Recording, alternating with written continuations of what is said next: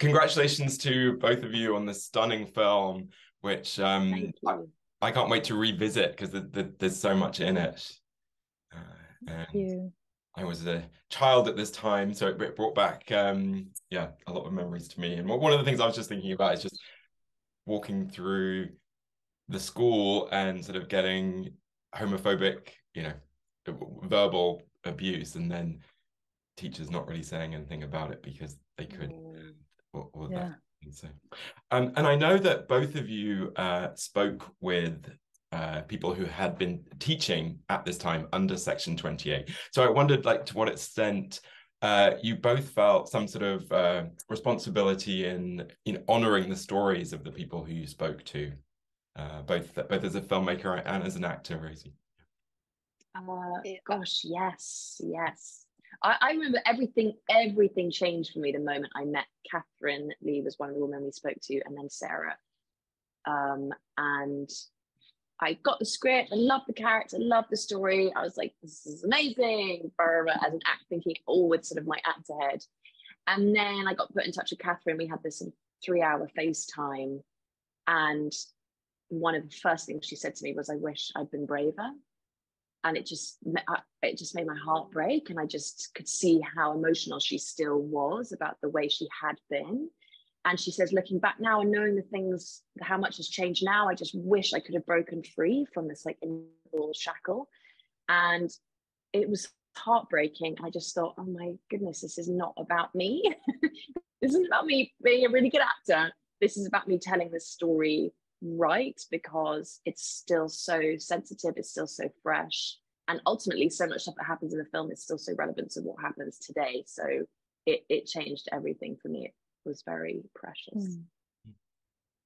I would add to that that um, one of the interesting things about telling the story that was inspired by those women's experience is that um, at the beginning when we met them when we met a, handful of, of, of, women and they shared their experiences with us they were all um, really excited by the prospect of a film being made uh, about section 28 and, and specifically about their experiences as as PE teachers at that time.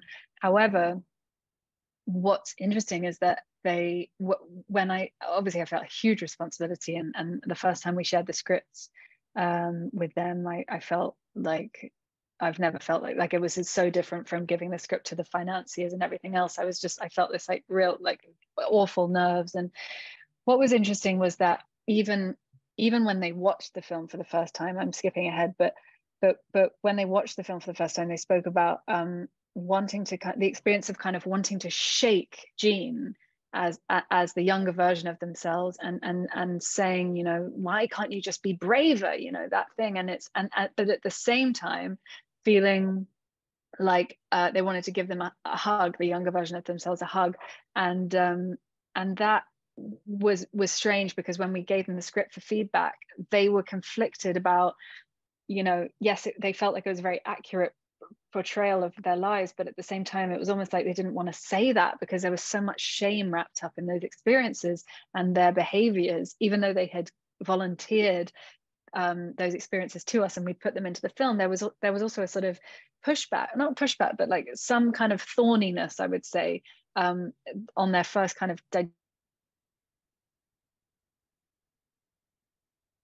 in terms of um, some of those experiences and, and and how they feel about their younger selves is is you know that, that, that, there's so much guilt and, and and shame wrapped up in that so yeah it was a, it was a really it added such an extra element to, to the whole experience of making the film and and and and uh, positively for sure. But um, I think it's really interesting the way that they responded to not just the script but then the film itself um, how there was this kind of like splintered off side of themselves even as as as um you know 30 years later they still had this kind of like dual reaction to to the character and the way the character behaves and i love what the film explores in that you know it's not so much about the legislation but it's about uh, what that stirs up and emboldens in terms of homophobia and then internalized homophobia.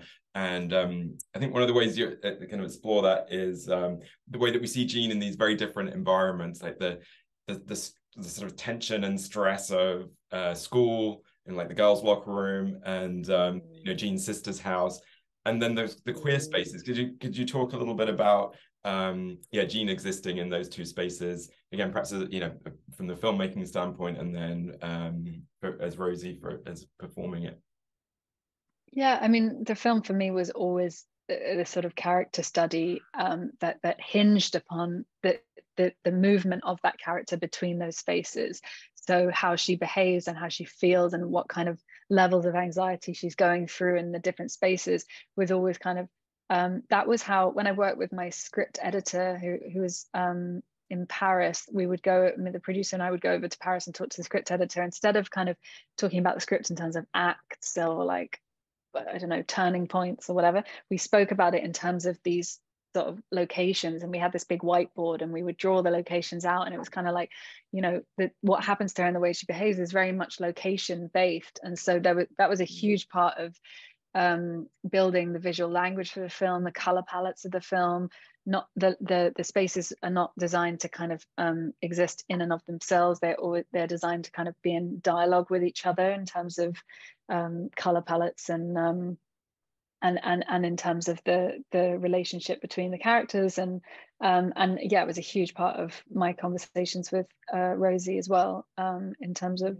what Jean is going through in those different spaces and you know um, we tried to do everything we could to kind of populate the spaces with um, you know uh, to make them feel you know uh, uh, uh lived in and to make them feel I mean most people would kind of bring a lot of baggage anyway to the, the, the sports hall, let's say, or the locker room. Everybody had their own kind of historical um, feelings around those spaces that they brought to them. But um, but yeah, that uh, that's that for me. That's what the story is about. Is is is that character kind of moving between those spaces and, and studying um, how she how she behaves. Um, yeah, and then they're complicated with like the arrival of Lois uh, or the arrival of Jean's sister, and then that suddenly yeah yeah exactly like what yes. happens when somebody encroach because at the beginning the idea was always at the beginning she's kind of spinning a lot of plates and she's she's sort of succeeding and her life is kind of ticking along and then what happens when something tips and you know what happens when somebody from the school environment um, penetrates that safe space of the bar or what happens when her sister comes over when she's there with her with her girlfriend um, and and the sort of carefully curated um, sectioned off parts of her life begin to kind of merge into each other and then she's unable to kind of keep up the pretense mm.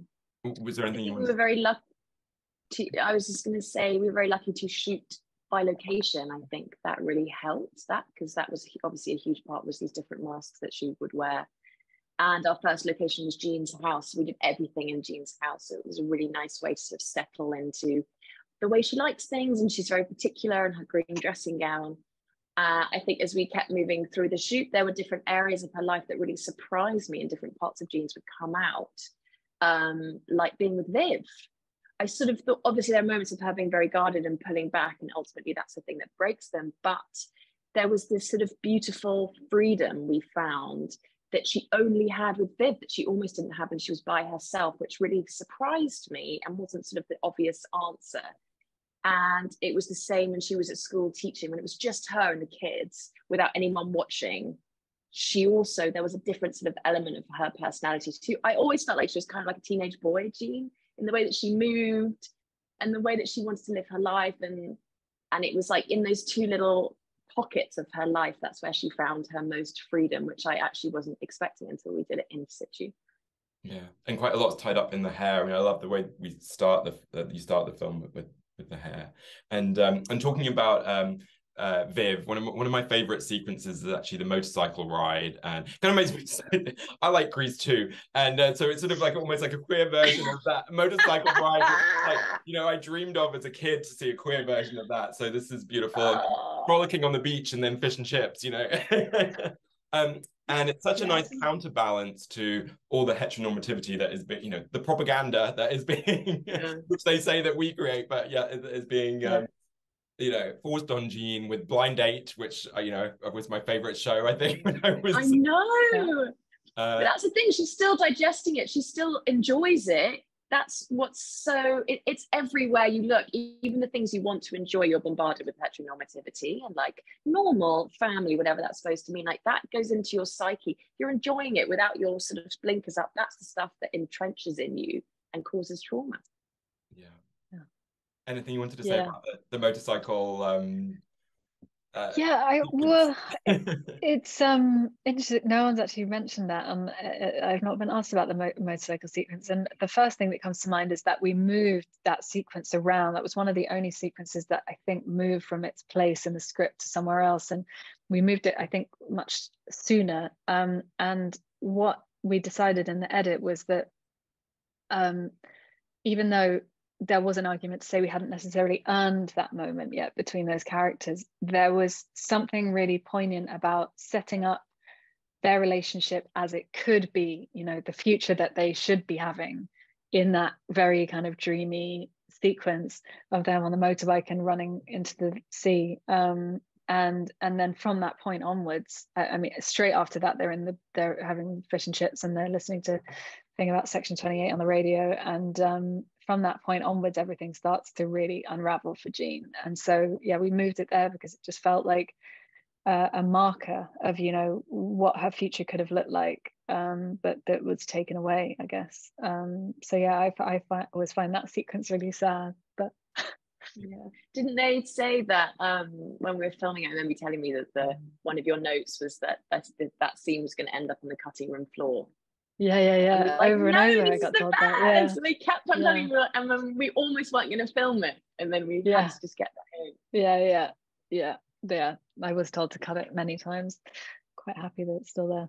Yes, well, well, me too. Well, there's there's so much more that we could say, but I would just you know encourage everyone to go and watch Blue Jean, um, and um, they'll have their own conversations after it, I'm sure. So, yeah, Rosy enjoyed Thank it. you so, so much. much. Thank oh, you. thank you, James. Nice to meet you. Thank you.